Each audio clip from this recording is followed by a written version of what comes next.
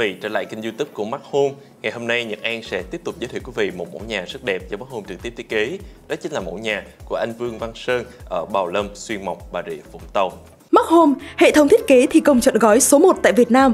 Với hơn 10 năm hình thành và phát triển, Mark Home đã có hơn 40 chi nhánh, nhà phân phối tại khắp các tỉnh thành. Mark Home luôn lên tiên phong về xây dựng đội ngũ thợ thi công tay nghề cao, giám sát được đào tạo bài bản, chuyên nghiệp. Mark Home là đơn vị duy nhất hiện nay tự sản xuất nguyên vật liệu và công trình, nên giá thành luôn rẻ và cạnh tranh. Chế độ bảo hành nhà lên tới 15 năm, giúp chủ nhà yên tâm khi đi vào sử dụng. Mark Home, đơn vị duy nhất tại Việt Nam, có các kỹ sư nước ngoài từ Hy Lạp, Italia, Thụy Điển trực tiếp nghiệm thu giám sát công trình. Mark Home đạt giải top 50 thương hiệu nổi tiếng nhất Việt Nam, top thương hiệu sao vàng đất Việt, giải nhất cuộc thi thiết kế nhà đẹp toàn quốc và là top thương hiệu được nhiều người yêu thích. Đơn vị duy nhất hiện nay hỗ trợ khách hàng vay vốn ngân hàng lên tới 75% tổng giá trị công trình, nên việc xây nhà với Mark Home dễ dàng hơn bao giờ hết.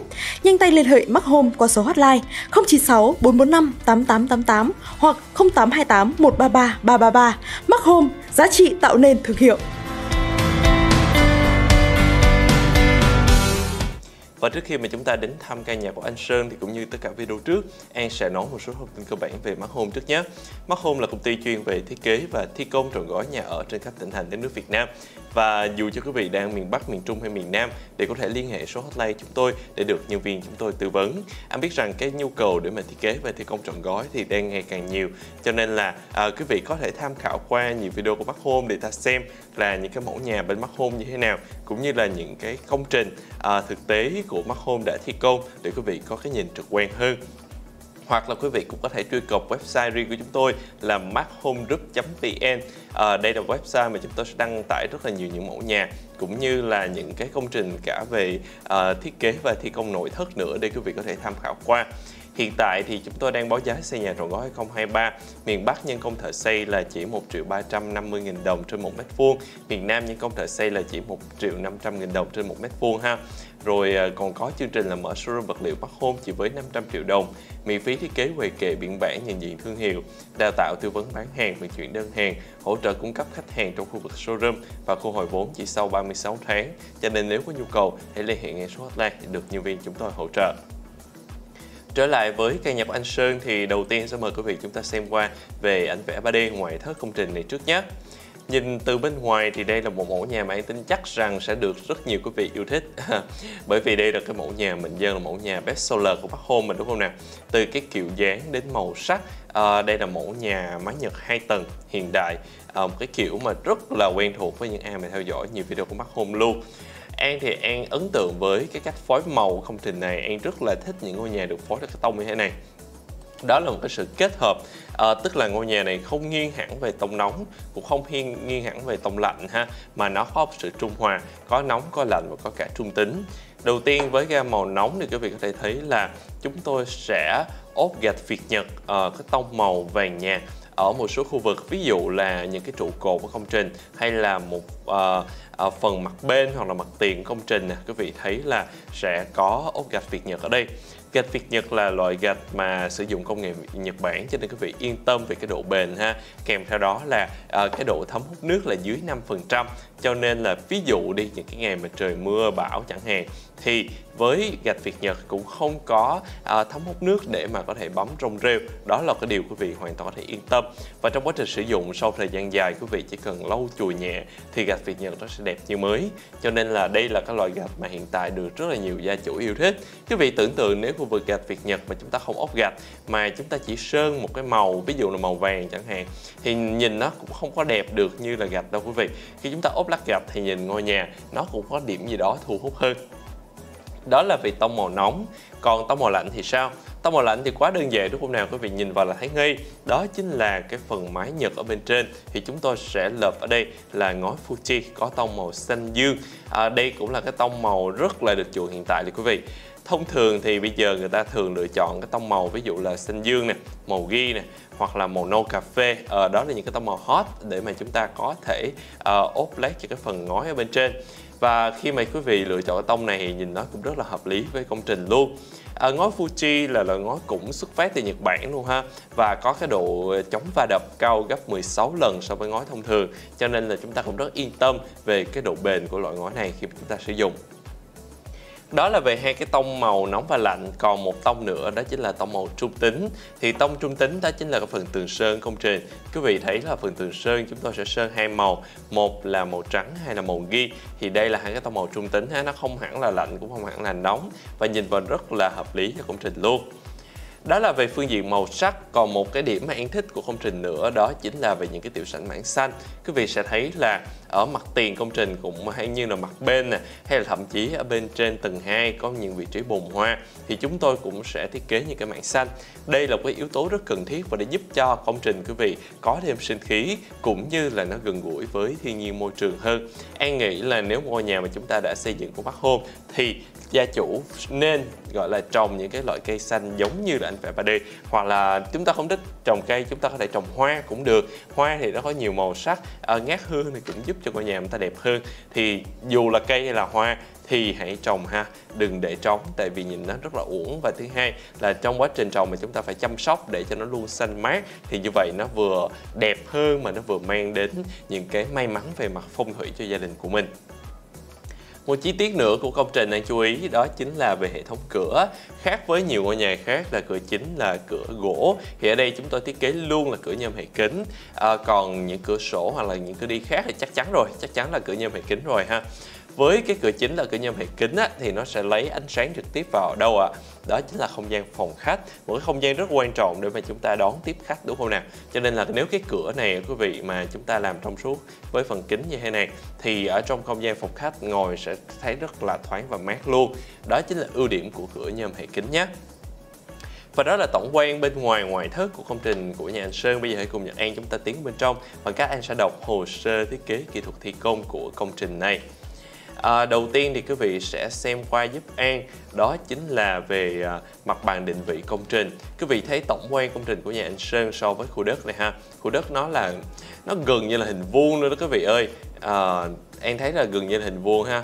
Một chiều là 28 m, một chiều là 29 m rồi về à, à, hướng nhà thì quý vị so sánh với hoa tiêu của chữ B thấy ngôi nhà hướng xuống bên dưới hướng qua bên phải bên dưới sẽ là hướng nam bên phải sẽ là hướng đông công trình nhà sơn sẽ nằm ở hướng đông nam. Và để biết được xem là ngôi nhà ta lựa chọn ở hướng nào cho hợp lý thì quý vị có thể tham khảo qua chuyên gia phong thủy của Bắc Hôn. Chuyên gia phong thủy sẽ tư vấn cho quý vị là về hướng nhà nè rồi à, à, tuổi làm nhà nè rồi à, ví dụ những cái vấn đề khác ví dụ là nghề động thổ rồi nghề bàn giao nhà như thế nào hoặc là ai nên xông đất ở nhà của mình vân vân. Thì quý vị hoàn toàn có thể trao đổi với kiến trúc sư của uh, Mark Home đặc biệt là chuyên gia phong thủy của chúng tôi nhé. Bây giờ sẽ đọc tiếp đến đó chính là mặt bằng nội thất công trình này. Đầu tiên là mặt bằng nội thất tầng 1 thì quý vị sẽ thấy là à, ngôi nhà có chiều dài 15,1 m, chiều rộng là à, 10,2 m và tổng tích sử dụng của cả hai tầng ăn cộng lại được tầm khoảng 180m2. Về công năng chúng tôi bố trí là có phòng khách nè, phòng bếp ăn nè, hai phòng ngủ và hai nhà vệ sinh. Sẽ có ba lối tiếp cận, một lối cửa chính đi vào phòng khách, một lối phòng bếp ăn đi ra mặt bên sảnh phụ ha, một lối cửa hậu ở phía sau. Quý vị lưu ý là cửa chính và cửa hậu nằm hoàn toàn lệch một bên, không nằm trên cùng một đường thẳng cho nên không phạm vào quan thông môn xuyên đường sát. Quý vị có thể thấy là chúng tôi ký hiệu nè, quý vị thấy rõ không ạ? À? Cái lối nè, à, có những cái lối gạch nè thì đây là cái đường nó không có phải là đường thẳng cho nên rất là hợp lý luôn nhé Tiếp theo tiến lên tầng 2 thì chúng ta sẽ bố trí là có phòng thờ, phòng sinh hoạt chung, thêm hai phòng ngủ và thêm hai nhà vệ sinh nữa. Bây giờ anh sẽ đọc tiếp đến đó chính là mặt đứng công trình. Anh đọc mặt đứng trục AD. Với mặt đứng này có số không định của mái là 10,7m, sàn tầng 1 lên đến sàn tầng 2 là 3,9m, sàn tầng 2 đến sàn mái là 3,6m. Ngược lại có số không xứ người lại sơn là 75cm chia cho 5 bậc, mỗi bậc là 15cm. Bên dưới chúng tôi sẽ có 5 ô hình chữ nhật tương ứng với vật liệu khác nhau. Quý vị thấy là ốp đá ghép nè ốp gạch việt nhật nè sơn mắt hôm từ sơn giả đá vân vân. Chúng tôi ký hiệu rất là rõ ràng luôn ha. Và bên cạnh còn có một cái vị trí là mặt cắt AA à, ờ, để mà chúng ta nhìn rõ hơn về cái kết cấu của công trình. Và sẵn tiền đã xem qua mặt cắt rồi thì bây giờ anh sẽ mời quý vị đọc tiếp đó chính là mặt cắt 11 đây là mặt cắt từ nhìn từ mặt bên công trình nhìn qua ha. Với cái bản vẽ này thì quý vị thấy một số lối cửa trong nhà có 2m4 nè quý vị thấy không ạ? Rồi vị trí cầu thang đi trong nhà ha cầu thang đi giữa nhà nè. Rồi nhìn kỹ lên trên mái đó quý vị sẽ thấy là có một cái cửa nhỏ mà chúng ta sẽ làm cái cửa đi lên thăm mái quý vị có thể bắt cầu thang chúng ta đi lên đây ha. Thì thông thường á, cái tầng áp mái á, đa phần với nhà mà của Việt Nam thì anh thấy là người ta không có sinh sống đâu. À, ở, ở nước ngoài thì còn có chứ Việt Nam anh thấy ít lắm. Trừ khi là nhà máy Mansa thì cũng có thể còn máy Nhật hay máy Thái thì thật sự rất là ít và ở đây cái tầng này thì chúng tôi sẽ làm gì? Quý vị có thể đàm một cái kho ở chúng ta dự trữ đồ đạc hoặc chúng ta có thể đặt cái tét nước ở trong này. Thì cái đó là tùy theo uh, nhu cầu cũng như là cái cách sắp xếp của từng gia đình thôi. Bây giờ sẽ đọc tiếp đến chính mặt bằng lát sàn của tầng 1 với một bằng lát sàn quý vị thấy là những không gian ví dụ là phòng khách, phòng bếp, phòng ngủ chúng ta ký hiệu số 1 là ốp gạch granite chống trơn màu hệ chỉ định kích thước 800 x 800 thông thường quý vị nên ưu tiên những gam màu sáng ví dụ là màu trắng, màu vàng nhạt, màu ghi nhạt ha có những gia đình thì em thấy họ thích những cái màu lạ hơn có thể là màu xanh dương nhạt chẳng hạn. Nhưng mà thực sự chúng ta vẫn nên ưu tiên những cái gam màu nhạt. Còn mà chúng ta muốn ốp một gam màu đậm á gam màu lạ mắt á thì chúng ta phải tham khảo kiến trúc sư để xem mà nó có hợp lý về mặt thẩm mỹ hay không. Đừng có nên tự mình lựa chọn tự ốp rồi ngôi nhà của mình nhìn nó lại bị rối mắt ha. Tiếp theo là những khu vực nhà vệ sinh, chúng ta ký hiệu số 2 lớp gạch granite chống trơn, màu theo chỉ định, kích thước là 300 x 300 ở nhà vệ sinh thì chắc chắn yêu cầu chống trơn là phải đặt lên hàng đầu. Và kích thước của nhà vệ sinh thì cơ bản nó nhỏ hơn những không gian khác. Cho nên là cái viên gạch đó quý vị nó cũng phải nhỏ hơn thì nó mới hợp lý.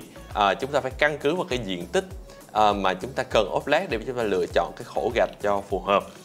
Còn ở ngoài trời thì chúng tôi sẽ uh, ốp những cái gạch ra ốp đá granite ở ngoài trời ha. Ví dụ là những khu vực sảnh chính sảnh phụ hay là những cái bậc thang uh, đi ra cửa hậu phía sau công trình Bây giờ thì anh sẽ đọc tiếp đến đó chính là uh, chi tiết cửa đi D1 của công trình. Đây chính là cửa chính.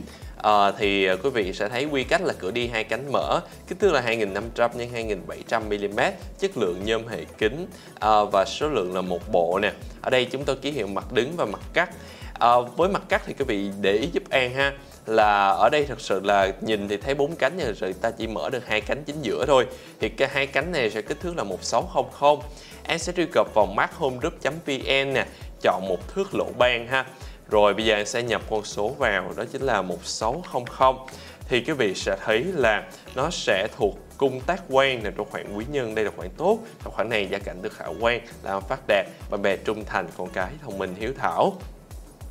Tiếp theo sẽ đọc đến hồ sơ kết cấu của nhà anh Sơn. Và dựa vào móng thì thấy ngôi nhà xử lý là móng băng, bê tông cốt thép với những công trình như nhà anh Sơn thì em nghĩ lựa chọn móng băng lựa chọn hợp lý. À, một cái nơi mà cái đất á, nó không phải là quá yếu hoặc là ngôi nhà tải trọng không quá lớn thì móng băng là lựa chọn phù hợp. À, và móng băng sẽ giúp truyền tải trọng xuống nền đất đều hơn. Móng băng thì có nhiều loại thị trường quý vị. Nếu chia theo độ cứng có móng băng cứng móng băng mềm hoặc móng băng hỗn hợp.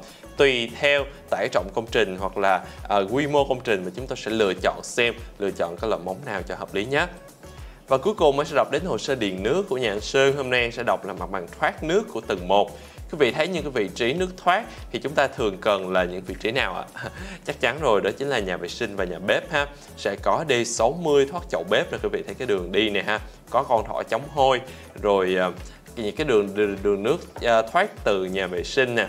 Uh, TXD 110 y bằng 2% này quý vị và nó sẽ uh, thoát nước qua cái bể phốt bể phốt chúng tôi sẽ đặt ở phía bên ngoài của công trình Vậy Nhật Em vừa giới thiệu quý vị về công trình của nhà anh Vương Văn Sơn ở Bà Rịa Vũng Tàu, một công trình best seller cực kỳ đẹp của Mắt Home. Nếu quý vị thích mẫu nhà này muốn muốn thiết kế tương tự thì cần ngại liên hệ ngay Mắt Home qua số hotline 096 445 8888 hoặc 08281 33333 để được hỗ trợ tư vấn trong thời gian sớm nhất. Và đừng quên nhấn like, subscribe chuông thông báo để không bỏ lỡ video mới nhất của chúng tôi nhé. Còn bây giờ Nhật Em xin kính chào tạm biệt. Hẹn gặp lại quý vị trong những video tiếp theo.